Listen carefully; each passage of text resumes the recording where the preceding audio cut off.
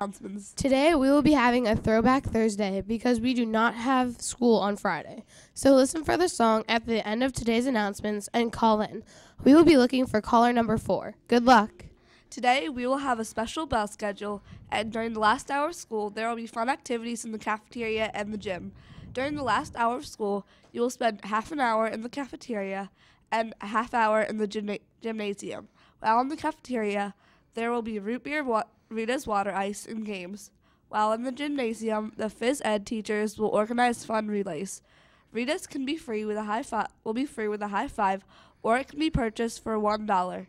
Earn those high fives and bring them to the cafeteria on this afternoon. This this delicious lunch is Chef's Choice with vegetables, assorted fruit or juice, and Milk Choice or Pizza Express or Sandwich Express.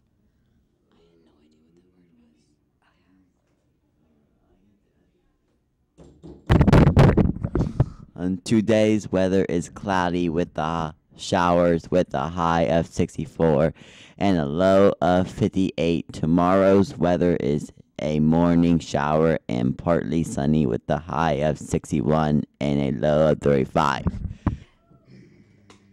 Action is the foundational key to success. Pablo Picasso. Remember, we are CMS. See, choose to be safe and make responsible decisions and as show respect. Have a throwback Thursday.